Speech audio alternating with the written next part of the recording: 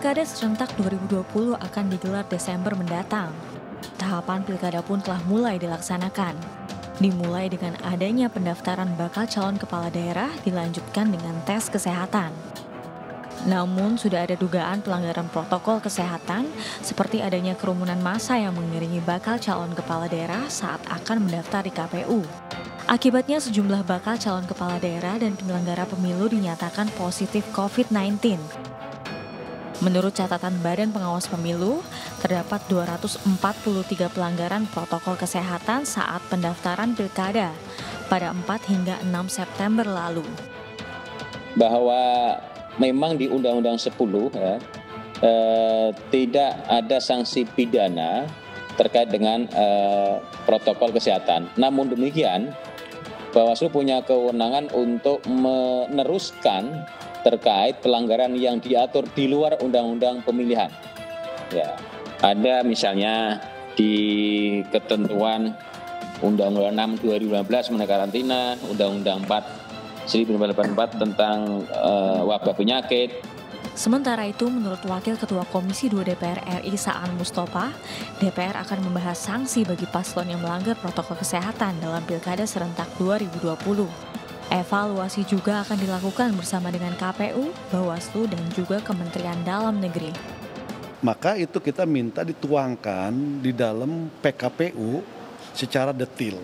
PKPU maupun Perbawaslu secara detil terkait dengan semua tahapan termasuk pendaftaran sampai nanti kepada pemungutan itu harus disesuaikan dengan protokol COVID-19 secara detail kita minta digambarkan.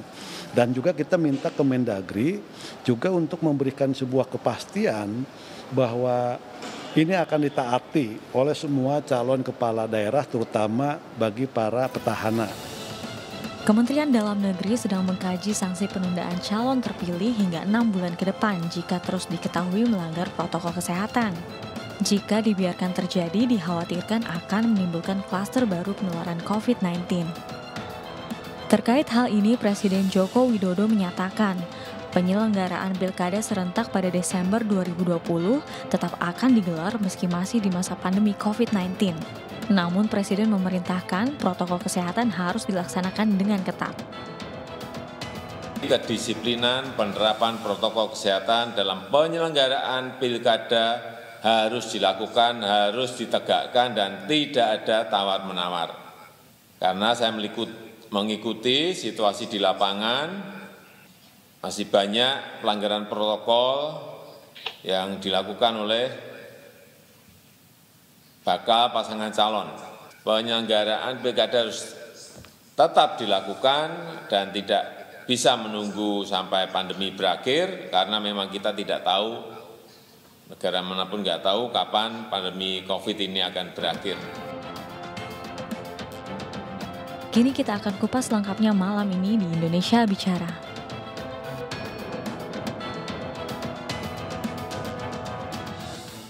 Ya, klaster baru hantui Pilkada 2020 akan jadi tema kita pada malam hari ini. Seperti biasa sudah hadir narasumber. Yang pertama ada Pak Heri Budianto, pengamat politik. Selamat malam, apa kabar Pak? Malam, Alhamdulillah Mbak. Prim. Terima kasih sudah hadir di Indonesia Bicara. Kita juga sudah terhubung dengan uh, Pak Bahtiar, Dirjen Polpun Kemendagri melalui sambungan Zoom. Selamat malam Pak Bahtiar, sehat Pak? Selamat malam, Assalamualaikum, salam sehat. Waalaikumsalam. Salam sehat Pak Bahtiar.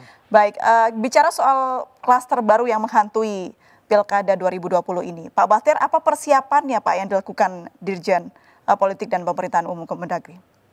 Ya, jadi gini, uh, kita memang sudah memutuskan melanjutkan pelaksanaan Pilkada serentak 2020 uh, pada 9 Desember 2020 ya sudah kita tentukan itu.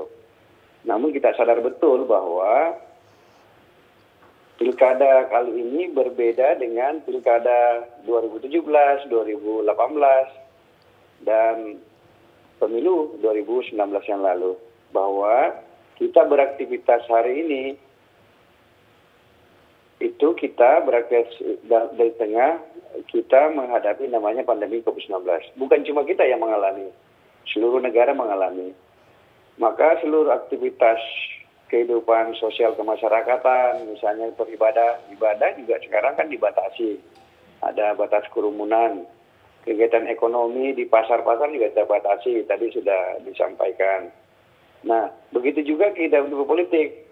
Maka Kementerian Dalam Negeri, wakil pemerintah bersama DPR RI dan penyelenggara pemilu, KPU dan Bawaslu sepakat melanjutkan pelaksanaan pilkada, tetapi keselamatan warga negara tetap di atas segalanya. Maka seluruh tahapan dipastikan harus menggunakan protokol kesehatan protokol kesehatan bukan hanya berlaku bagi penyelenggara, tetapi hmm. seluruh aktor-aktor lain, baik peserta, terus masyarakat yang terlibat, simpatisan dan terusnya, seluruhnya wajib hukumnya menggunakan protokol kesehatan. Nah, hasil evaluasi kita kemarin, tanggal 4, tanggal 5, tanggal 6 pada saat dilaksanakan pendaftaran pasangan calon, ternyata peraturan itu tidak ditaati. Hmm ini ada dua hukum nih sebenarnya ini. Satu hukum kesehatan. Ada Undang-Undang nomor 484 tentang wabah penyakit, ada Undang-Undang nomor 6 2018 tentang apa karantina kesehatan, ada sejumlah ada peraturan gugus tugas, ada peraturan presiden dan terakhir ada Impres nomor 6 2020 tentang penegakan hukum protokol kesehatan. Nah, protokol kesehatan itu berlaku di seluruh wilayah negara kesatuan Republik Indonesia. Ada pilkada tak ada pilkada, hukum protokol kesehatan itu berlaku dan wajib dipatuhi, dipatuhi oleh siapa pun setiap hmm. warga negara. Nah, khusus daerah 210 daerah yang akan pilkada, hukumnya double. Di samping hukum-hukum kesehatan tadi, protokol kesehatan tadi, juga berlaku hukum-hukum pilkada, termasuk hukum protokol kesehatan. Nah, semuanya sudah mengetahui ini. Nah, Artinya kalau masih ada yang melanggar, maka ini harus ditertibkan, harus ditegakkan.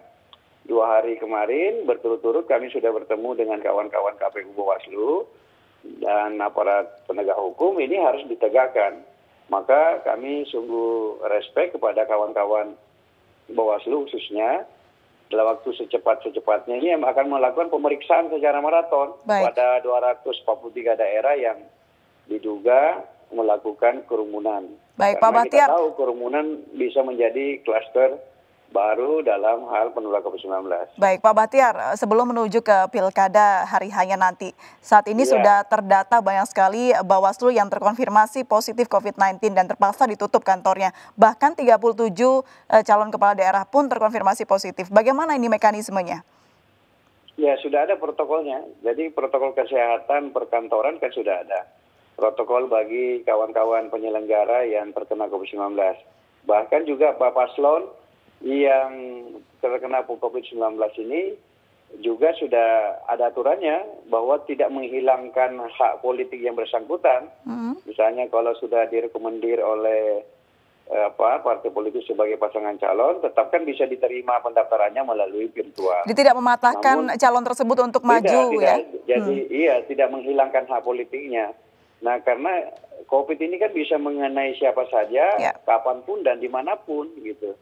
Nah, termasuk warga negara kita yang berprofesi sebagai penyelenggara pemilu atau warga negara kita berprofesi yang saat ini sedang uh, mengajukan diri sebagai calon kepala daerah atau calon wakil kepala daerah baik bupati wali kota maupun gubernur dan wakil gubernur.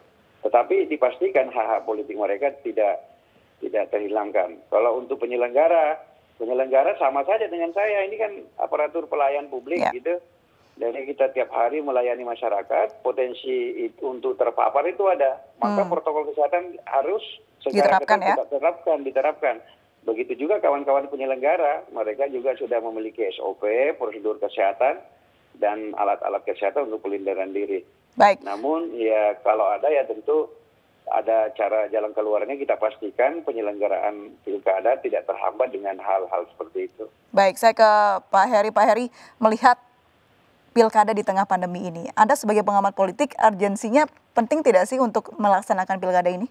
Iya, karena ini kan sudah diputuskan. Hmm. Saya juga dengan Pak Bahtiar udah beberapa kali diskusi juga melalui daring bahwa Siap. ini adalah keputusan pemerintah dan hmm. keputusan DPR untuk tetap melaksanakan pilkada 9 Desember eh, secara serentak, secara nasional.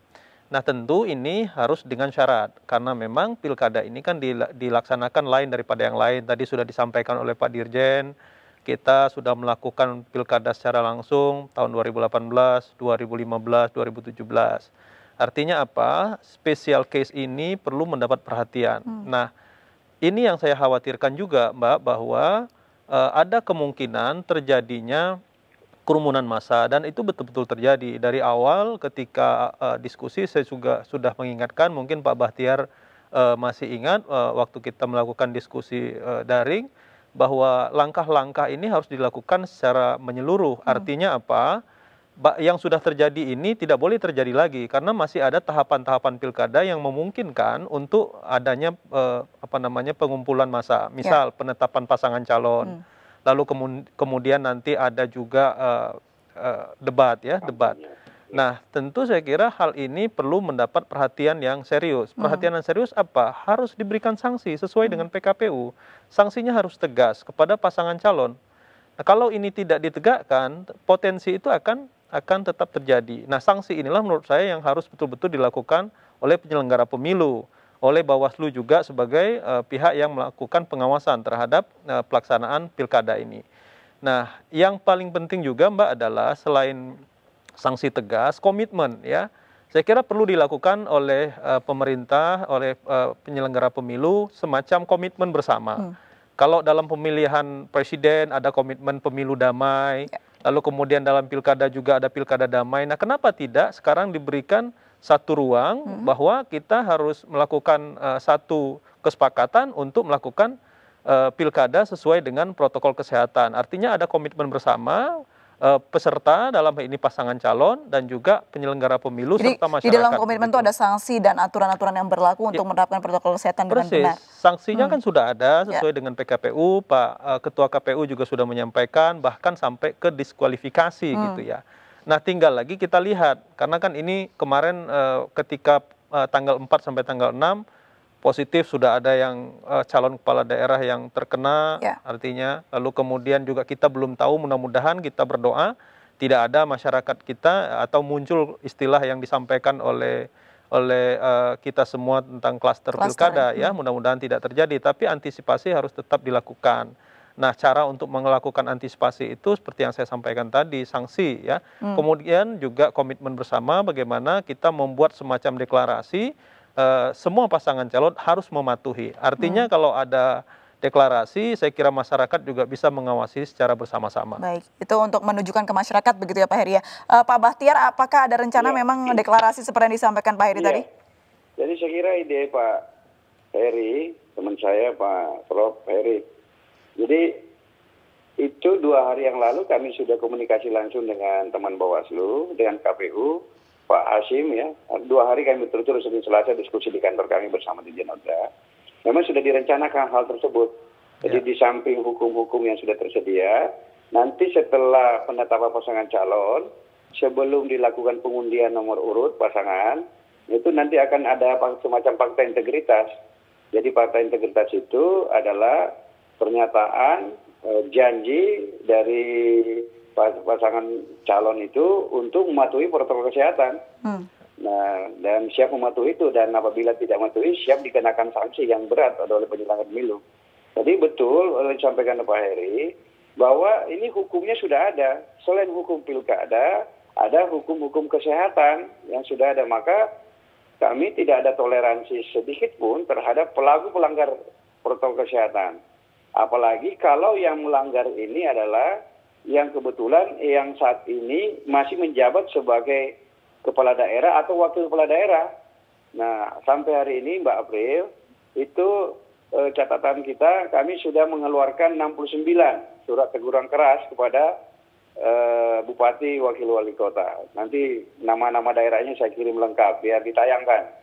Baik, gitu. baik. Dan kita juga memberi apresiasi, hmm. apresiasi ada empat kepala daerah uh, yang dan wakil kepala daerah yang justru menunjukkan sikap positif. Contohnya Bupati Gorontalo yang juga kebetulan maju Pak Dr. Nelson, Pak Prof. Hmm. Nelson. Ada Bupati Lu Utara, Ibu Haja Indah Putri. Hmm. Ada Wakil Wali Kota Denpasar, Ibu Stingura Raya. Ada Wakil Wali Kota Ternate. Keempat beliau-beliau itu kebetulan juga wakil kepala daerah dan bupa, uh, bupati. Dan justru menunjukkan positif. Beliau justru contoh yang positif, tidak melakukan arah-arakan, yeah. tidak melakukan kompoi. Nah, ini kok bisa gitu? Kan menjadi aneh, hmm. menjadi aneh gini loh. Baik, kan baik. hampir 200 hampir 200 lebih ya catatan sementara itu dari 210 daerah kan petahana itu maju baik wakil kepala daerah maupun uh, dia saat ini sebagai kepala daerah. Nah, yang menegakkan protokol kesehatan sebagai satgas gugus tugas kan kepala daerah dan wakil kepala daerah itu. Betul. Masa salah bagaimana bisa menjadi mencontohkan masyarakat kalau dia sendiri yang malah menganjurkan Melanggar, kerumunan, ya, Pak ya? menganjurkan kerumunan dan hmm. secara patut diduga memang merencanakan kerumunan misalnya ada contoh kan di suatu tempat misalnya memang ada acara di lapangan dalam jumlah ribuan orang. Nah, kalau misalnya kegiatan yang sangat privat saja seperti kegiatan keagamaan, teologi itu, hmm. ke masjid, pengajian kita larang, olahraga di Senayan kita larang. Lah selama ini kita bisa kendalikan. Masa yang aktivitas politik tidak bisa dikendalikan? Betul. Peraturannya sudah jelas kok gitu. Baik. Saya kasih ilustrasi lebih lebih kencang lagi stepnya nih. Gak apa-apa ditebalkan saja Mbak April, gitu. Baik, Andainya baik, misalnya. Baik Pak Bahtiar, ini juga menjadi informasi ke masyarakat begitu ya Pak Bahtiar ya. Iya, Cuman ini fenomena yang unik sekali ya, kepala daerah yang menjadi petahana uh, membuat kerumunan, bahkan uh, bagian, sebagian dari mereka tidak mematuhi protokol kesehatan dengan tidak memakai masker dengan benar begitu ya. Kita akan bahas ya, ini, tapi harus harus jeda terlebih dahulu kita Pak Bahtiar dan Pak Heri ya, tetap bersama ya. kami pemirsa di Indonesia Bicara.